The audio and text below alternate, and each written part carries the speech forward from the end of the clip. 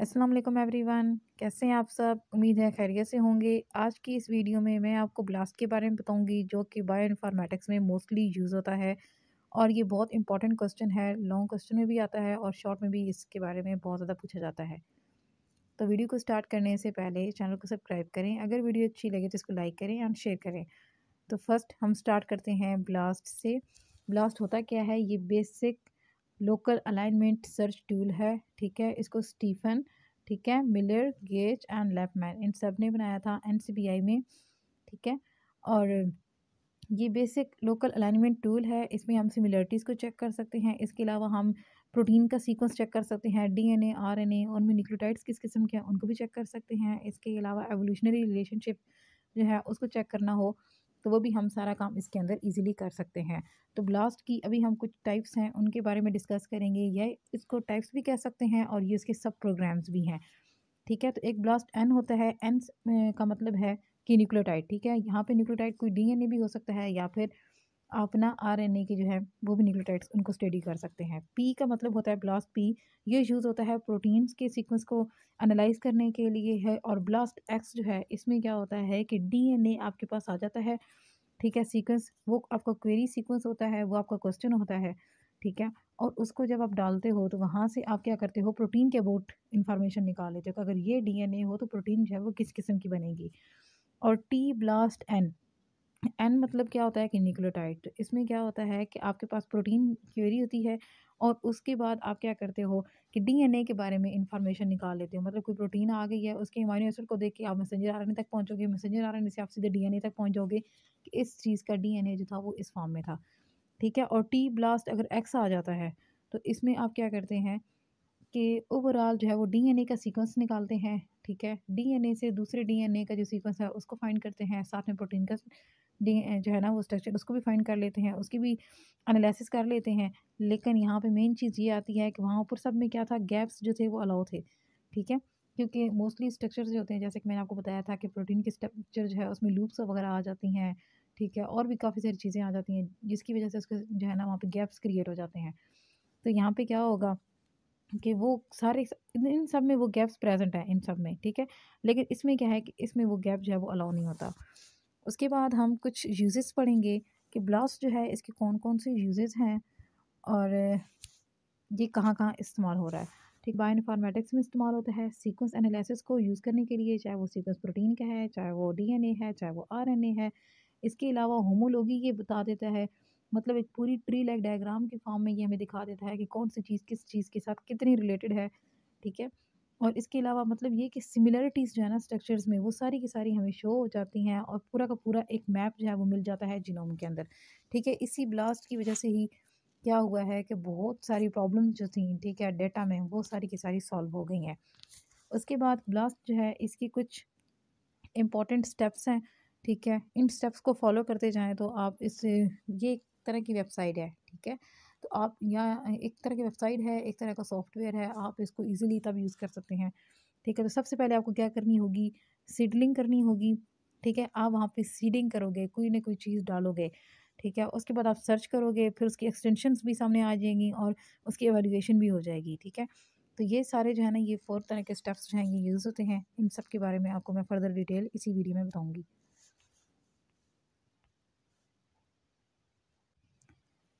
तो पहला जो स्टेप था, ठीक है, जिसमें हमने सीडिंग के बारे में देखा कि सीडिंग में आपने क्या करना होगा, आपके पास एक सीक्वेंस होगा, एक क्वेरी सीक्वेंस होगा, ठीक है, वो आपने तैयार कर लेना है, एक पूरी लिस्ट जो है ना वो बना लेनी है, ठीक है। उसको आपने क्या करना है, वहाँ पे इंटर करना है, वो आपकी क्या होगी सीडिंग होगी, आपने बीच में एक सीड जो है वो डाल दी है। उसके बाद आपने सर्च को क्लिक करना है, ठीक है तो जितने मैचिंग जो होंगे ना सीक्वेंसेस वो सारे आपके सामने आ जाएँगे, ठीक है एक्सटेंशन आप मतलब उसको राइट साइड पे भी इंक्रीज़ कर सकते हो और लेफ़्ट साइड पे भी इंक्रीज़ कर सकते हो। इस तरह क्या होगी कि वो सारी मैचिंग आपके सामने नज़र आ जाएगी और आखिर में आपके पास जो है ना वो रिज़ल्ट आ जाएँगे और रिज़ल्ट जो है वो ई वैल्यू के फॉर्म में जो है वो आपके सामने आएँगे, ठीक है?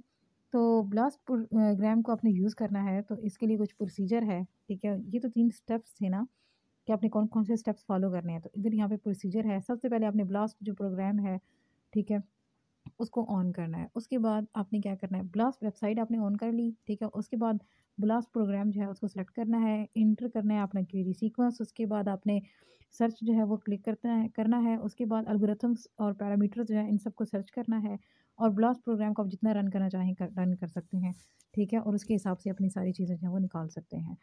तो अगर आप इसको यूज़ करना चाहते हैं निकालना चाहते हैं तो आप जो है ना ये वाली जो वेबसाइट है ठीक है?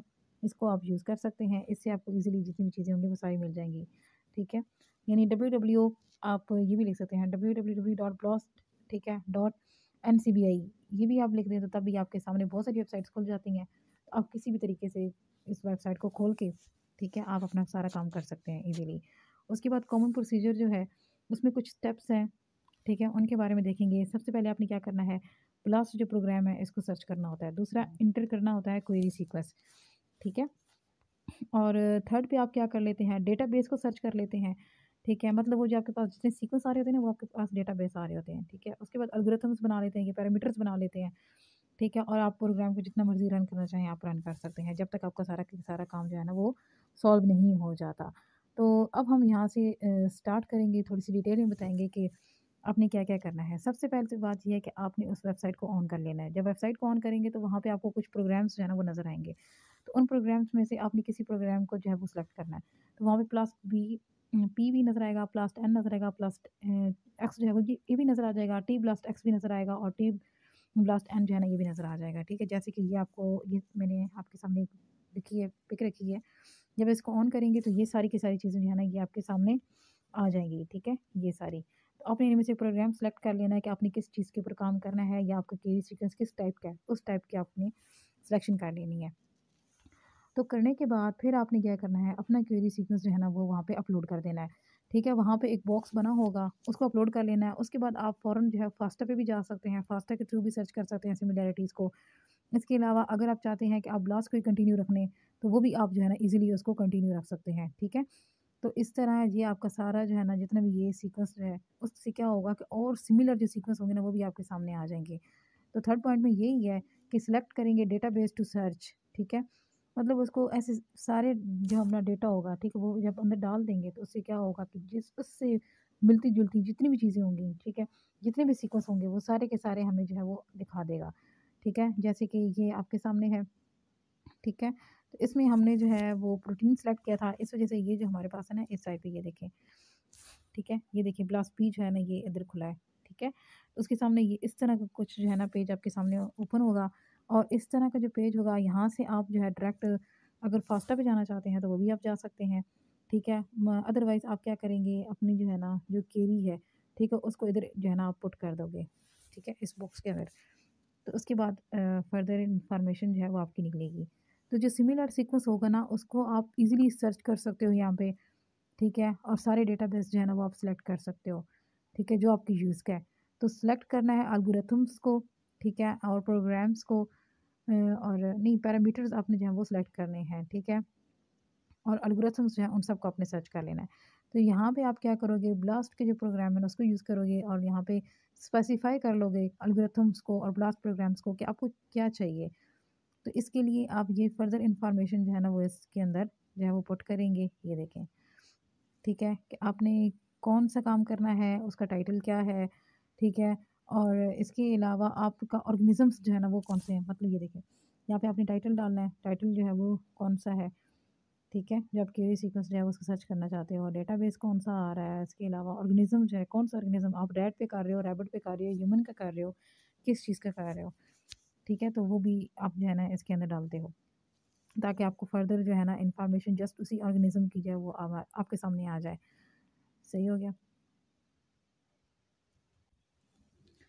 तो अब क्या देखेंगे कि ब्लास्ट पे जो आपने काम करना था, वो कर लिया। अब उसके बाद क्या होगा कि यहाँ पे हमारे पास कुछ जो है वो सब प्रोग्राम्स होंगे, जैसे कि मेगा ब्लास्ट आ गया है, ठीक है, और एक और मेगा ब्लास्ट और एक ब्लास्ट एन ठीक है। तो इसमें आपको क्या पता लग जाएगा कि जो आप चीज़ सर्च कर रहे हो, ठीक है? जो उसकी हाईली सिमिलर चीज़ें होंगी ना, वो आपको मिल जाएँगी और जो डिसिमिलर होंगी मोर डिसिमिलर ठीक है? वो भी आपको मिल जाएँगी और जो कुछ हद तक मिलती जुलती होंगी ना, ठीक है? वो भी सारी आपको इस ब्लास्ट प्रोग्राम पे इजीली जो है वो अवेलेबल हो जाएँगी, मिल जाएँगी।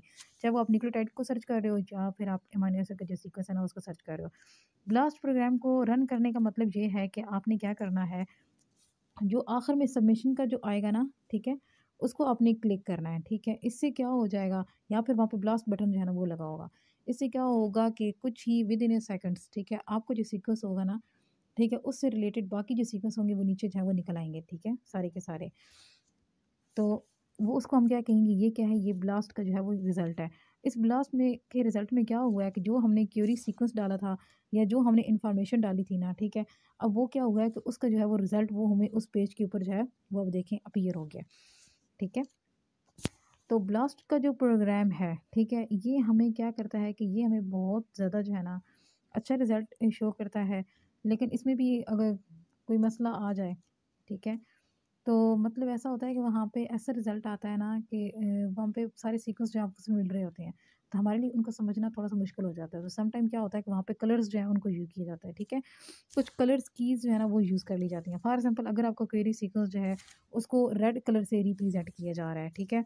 तो वो टॉप पे होगा, उससे जितनी मिलती जुलती चीज़ें होंगी, वो सारी नीचे होंगी और उनका जो कलर शेड है वो बताएगा कि वो कितनी सिमिलर है। अगर वो डार्कर मतलब सही रेड वाला है, ठीक है? ओवर क्यूरी के साथ मैच कर रहा है मतलब ये कि वो ज़्यादा सिमिलर है। इसी तरह करते करते जो सबसे लास्ट वाला होगा ना, वो बहुत लाइट रेड होगा और उसके बाद वाइट आना शुरू हो जाएँगे, ठीक है? तो इससे मतलब होगा कि कलर से भी हमें वो चीज़ें जो हैं वो पता लग जाएँगी, जैसे कि ये आप डायग्राम देखें, ठीक है? इस डायग्राम के अंदर भी क्या है कि यहाँ पे ये जो हमारा क्यूरी सीक्वेंस है, ये रेड कलर का है, ठीक है? तो उसके बाद क्या किया गया? उन्होंने क्या किया है कि ये जो लाइट रेड है ना, ये शो कर रहा है कि ये बहुत मतलब इतना ज़्यादा सिमिलर नहीं है। अब ये देखें, ये पूरा का पूरा जो है ना, हमारे पास ये पूरा बार जो है, ये बन गया है। ठीक है? तो इसमें ये बहुत सारे सीक्वेंस निकल आए हैं, ये बहुत सारे सीक्वेंस निकल आए हैं, अगर मैं आपको दिखा सकूँ तो। ये देखें ये यहाँ पे बहुत सारे जो है ना वो सीक्वेंस निकल आए हैं और उसकी वजह से क्या होगा कि हमें पता लग जाएगा कौन सा सीक्वेंस जो है वो ज़्यादा मैच कर रहा है और कौन सा ज़्यादा मैच नहीं कर रहा है। इस तरह फिर हमें जो इमारे एसिड की पोजीशन के दरमियान जो डिफरेंस होगा ना, उसके बारे में भी थोड़ी सी इंडिकेशन हो जाएगी कि वो कैसे हैं। और उनका जो सीक्वेंस है, उसमें किस हद तक डिफरेंस है और किस हद तक सिमिलैरिटी है। जैसे कि फ़र्स्ट में आपके पास जो है ना, वो इस तरह का सीक्वेंस आएगा, ठीक है? ये आप देख लें फॉर एग्जांपल आप ये क्यूरी सीक्वेंस डालते हैं तो उसके बाद ये जितने भी हैं ना सीक्वेंस ये आपके पास निकल आएँगे, ठीक है? जो ऊपर ऊपर वाले होंगे, वो बहुत ज़्यादा सिमिलर होंगे और जो नीचे नीचे वाले होंगे ना, ठीक है? वो मतलब ऐसे ना मतलब उनकी परसेंटेज डाउन होती जाएगी। अगर ऊपर वाले एटी परसेंट मिल रहे हैं ना तो उससे नीचे वाले जो है वो फिफ्टी परसेंट हो जाएँगे, जो उससे नीचे होंगे वो फोर्टी इस तरह थर्टी ट्वेंटी और लास्ट पे टेन परसेंट वाले मिलते होंगे और उसके बाद जो है ना ये चीज़ ख़त्म हो जाएगी, ठीक है? उनकी एक लिमिटेशन जो है वो होती है। तो इस तरह क्या होगा, जितनी भी आइडेंटिटीज़ होंगी, ठीक है, आपको सारा का सारा मिल जाएगा और जितना रिज़ल्ट होगा वो ई वैल्यू की फॉर्म में जो है ना वो आपको मिलेगा।